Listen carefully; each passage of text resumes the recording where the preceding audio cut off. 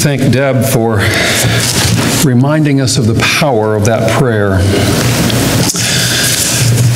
Jesus continues to set the stage for what McLaren calls his global uprising as he teaches his disciples.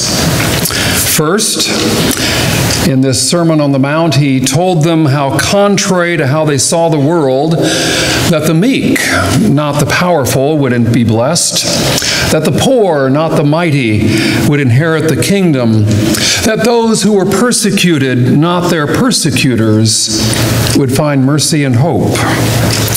And then he took the law with all of its power and authority and said to his disciples, You need to be more righteous than even the law demands. You have heard it said, but I say to you, he declared, not just actions, but intentions will shape my followers.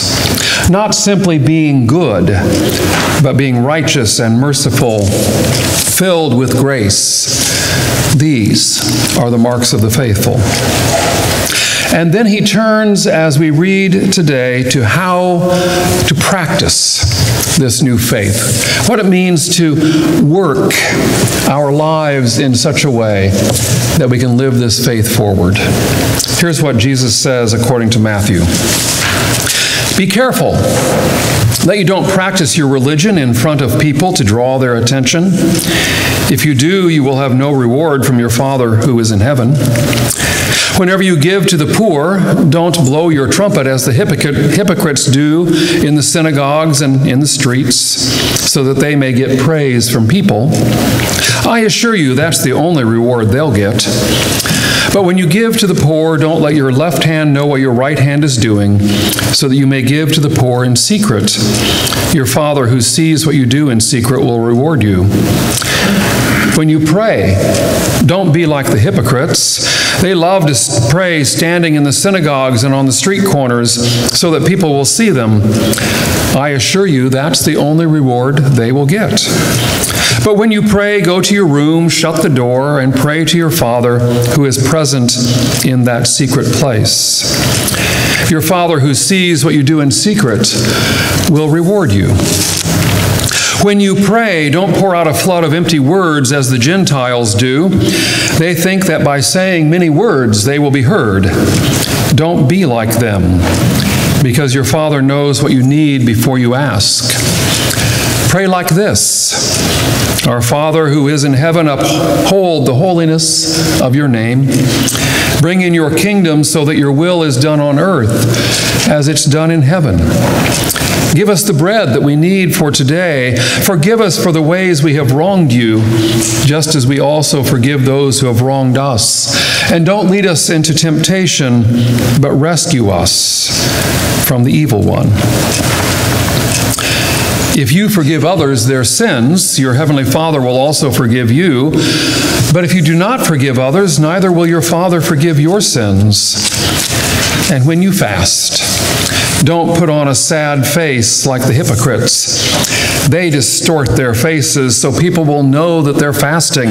I assure you, they have their reward.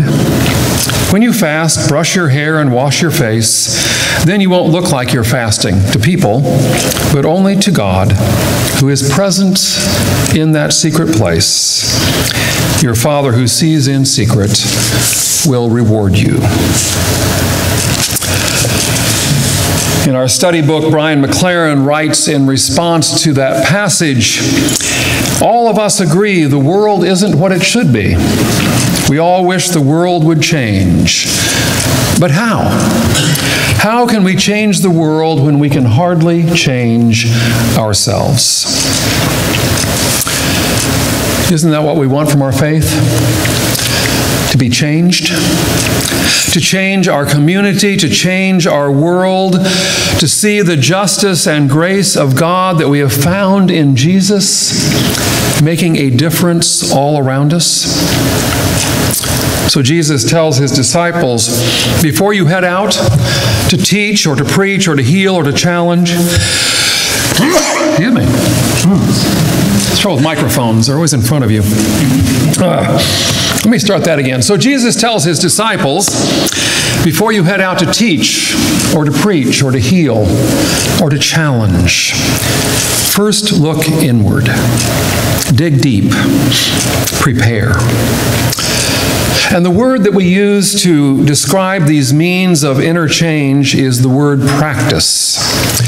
In that version that I just read a moment ago, it uses that word to set the stage. The first thing that Jesus says is be careful that you don't practice your religion in front of people simply to draw their attention. Practice is the right word, I think. We need to hear Jesus telling us to practice, to learn, to prepare, to set ourselves on the journey of faith that is before us. Through prayer, through giving up that which might distract us, through learning the art of giving, through regular worship and fellowship, through all the ways that we can discover our connection to God. A writer by the name of Milton Brasher Cunningham, who's a writer, a minister, and also a chef, among other pursuits. He's one of those folks that does a lot of different things. Has written a book called Keeping the Feast, where he compares cooking in a restaurant and the communion table. And he ties those together. I'm reading the book with my farm retreat group. And early in the book, he writes about becoming a chef. He says, I didn't go to culinary school. Instead, I came up through the ranks starting as a dishwasher and then a prep cook, and was able to work my way up the cooking line because professional cooking is still a career where apprenticeship is an accepted and honored way to learn the craft. I love to cook, and I thought maybe I could do that for a living. I found a small place that was opening and bugged the chef every day for two weeks until he capitulated and hired me. And then over the next eight or nine years, I had a chance to work for and with some extremely talented and creative people who were more than willing to share their knowledge. I worked in restaurants ranging from a small breakfast place that taught me how to cook good eggs fast to fine dining restaurants where I was afforded ingredients like white truffle oil and fennel pollen. Over time, he writes, I have had a chance to hone my cooking skills. And he goes on a little later, he says, My favorite thing to cook is comfort food. The fancy ingredients are fun, but if I can make mashed potatoes that taste so good you will leave your potatoes in your vegetable bin at home and drive to eat my cooking, then I've done something special. I want to make food that makes you want to come eat with me. I want to make the kind of food that will make you remember our being together, the signature, the distinguishing mark of a great meal is in the memory it creates. And then he concludes that thought by writing Communion is the signature dish of our faith. Sharing the bread and the cup is at the core of who we are together. It is the meal around which we build our identity, our defining ritual. Later on, he picks up on that theme. He talks about ritual being meaningful repetition, something that you do over and over again, like, like making a good peanut butter sandwich. You know, you, you got to work on that, Deb said. You got to learn how to do it so you can share it with somebody else. You repeat it over and over so that you know what you're doing. Repetition is a stacking of time, each experience laid on top of the other, so that over time you can come back to it again and again and learn from it. One of the stories of the Old Testament is Joshua telling the people of Israel to stack up the stones after they've crossed the Jordan, so that in the years to come, when they get back to the Jordan, the children can say, What are those stones for? and they'll have the opportunity once again to tell the story. God led us out with a mighty hand from Egypt and into the promised land. The repetition telling the story over and over again. Now, if ritual is meaningful repetition, then habit, I suppose, might be kind of an opposite. A repetition that grows out of convenience or maybe compliance or perhaps just because. Somewhere in life, we have to just keep stacking up stones if life is going to mean something. And so Jesus said to his disciples when he first passed the bread and wine, He said, As often as you do this, remember me.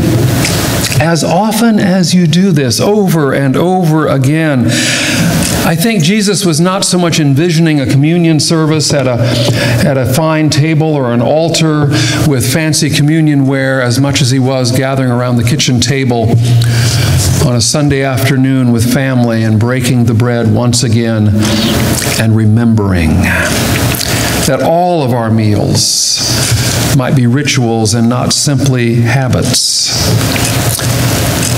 Practice makes perfect. But even more, practice makes ritual. We do these things in secret in our everyday lives so that when we have need, we can enter into ritual, into those shaped and understood habits of behavior that carry us through. Albert Camus, the philosopher and playwright, wrote a long time ago Works of art are not born in flashes of imagination, but in daily fidelity. You hear that? Works of art are not born in flashes of imagination, but in daily fidelity. You work at it.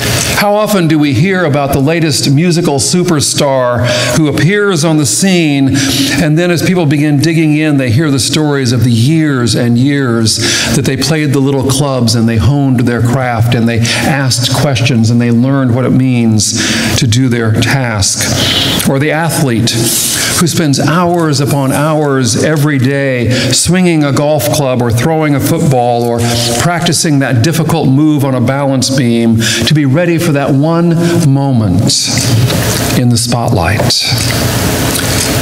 works of art and the expression of talent and the power of faith do not come easily, but with practice. A few weeks ago, when we were celebrating the legacy of Martin Luther King Jr. and then Black History Month, I was drawn back to the story of those civil rights activists of the 60s who prayed and practiced the work of nonviolence so that when the batons were swinging and the dogs were unleashed, they could stand their ground. They spent years of preparation and prayer, and that's what Jesus asks of us to prepare ourselves to be faithful. So, how do we do it?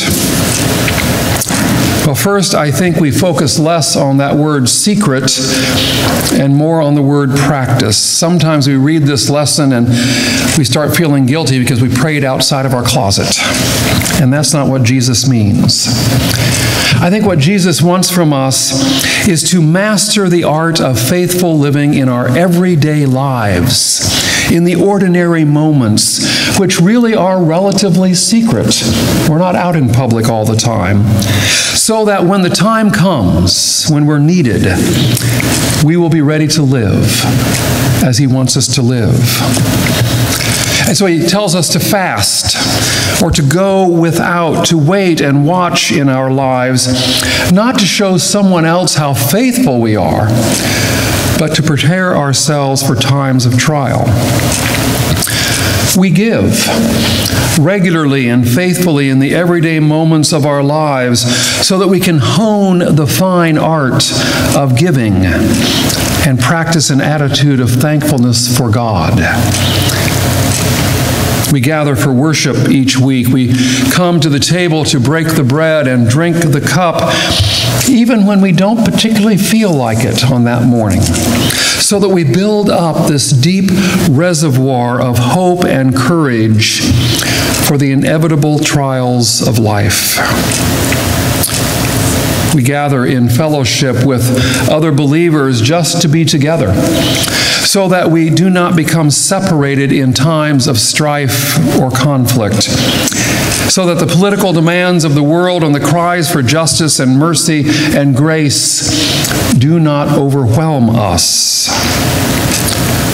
And we pray daily, practicing the art, the power of prayer in those quiet moments at a stoplight, in the morning when we get up, in the evening before we go to bed, before our meals, in those moments when we just have that opportunity to reflect back on what God would have us be, we pray so that we will not be weak or wordless when God has something for us to do. Our Father, who is in heaven, uphold the holiness of your name, bring in your kingdom, so that your will is done on earth as it's done in heaven. Give us the bread we need for today. Forgive us for the ways we have wronged you, just as we also forgive those who have wronged us. And don't lead us into temptation, but rescue us from the evil one. Our reward, Jesus says, comes from the practice of faith, not from the accolades of others, but the gift of God's presence with us each and every day. In the name of Christ. Amen.